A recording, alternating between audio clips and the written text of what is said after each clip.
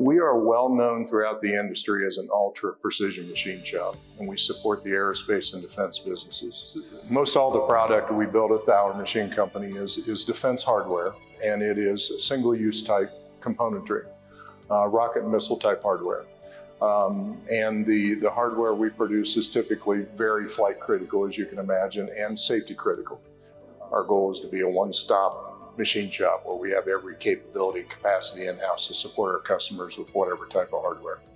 We purchased a 3D Systems DMP Flex 350 machine. 3D printing is becoming a major player in all types of manufacturing today.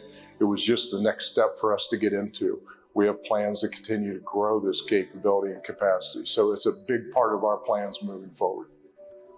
First of all, the capability to print aluminum parts in production that we were not successful with in the past going right to OEM manufacturers. The second thing it accomplishes is, is it allows us to have the capability and capacity in-house, which means now we can control our own quality and delivery. As, as most anyone would tell you in this business today, uh, to, uh, go out and sell to an aerospace and defense company that you can 3D print parts in production, especially materials like aluminum, um, it's probably not going to happen uh, unless you're already in that business. So uh, as we were trying to work directly with the OEM manufacturers, we were struggling uh, to make parts and, and be able to get our name out there as someone that can do that business. Our OEM customers were also warning us saying, hey, not everybody can 3D print aluminum in production.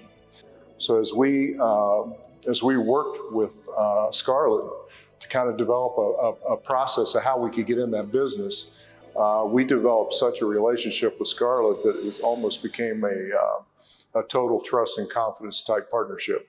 Uh, so uh, we believed in what they were selling us. We believed in what they could accomplish with us. We seen the samples they produced, and everything was as expected. So we put that plan together uh, on paper and took it and presented it to our customers. Hey, we know we're not in this business today, and uh, we know this business is out there, but uh, the only way we can get in this business is prove to you that we can do it. So not only are we going to go out and buy a machine to do this business that we've quoted, but we're going to buy the support that we need from Scarlett. And, and by the way, here is the capability that they have showed us in sample parts that they've printed compared to what our OEM manufacturers has done, and it's night and day. And, and at the end of the day, our customers were so impressed that it won us the business.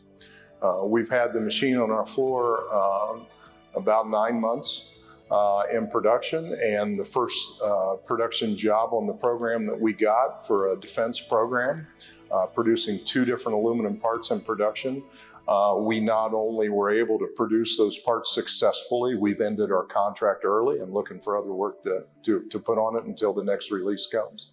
Uh, so we were excited to get the opportunity to to get that work and to not only get it, but to produce it very well and uh, be ready for the next project.